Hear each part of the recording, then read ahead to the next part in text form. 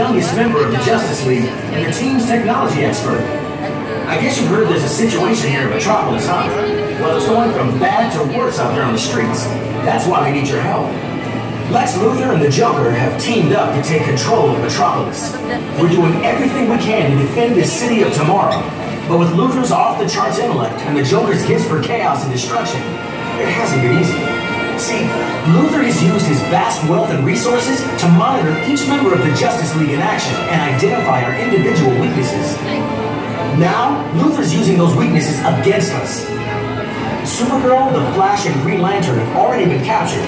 Only Superman, Batman, Wonder Woman, and I are left to defend Metropolis. That's why we're recruiting brave citizens like you to join us in the battle. Based on intel we've gathered from out in the field, held at LexCorp headquarters. We need to break in and rescue them. It's so heavily guarded, it might be the most dangerous place on the planet.